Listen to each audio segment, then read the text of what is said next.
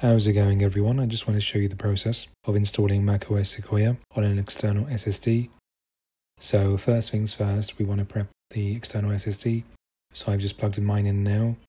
We're just going to go to the disk utility, select your external SSD, press erase, name it whatever you like. Make sure that you select Apple's file format system. Once that's finished, then our SSD is prepped.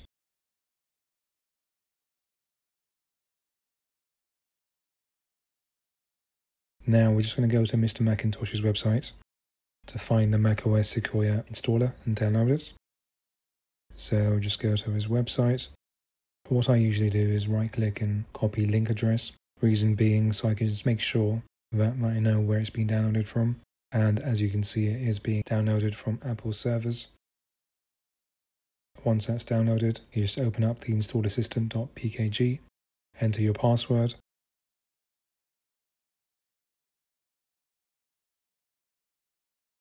Okay, so once that's done, we're just going to go from either Launchpad or go into the Applications folder and select the macOS Beta 15 installer.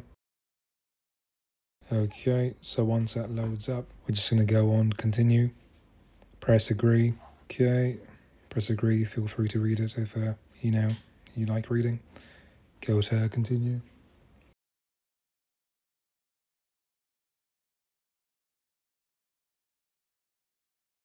Just going to type in password, go on, continue there. Okay, so this is probably going to take around 30 40 minutes. And once that's done, then it should automatically reboot into macOS Sequoia. Okay, so this is how it looks once it first boots up. Now just go through the setup process. Okay, so that's pretty much it for today. As you saw, it is quite a simple process. If you have any questions, feel free to let me know in the comments. And please don't forget to like, comment, and subscribe. And thank you for watching.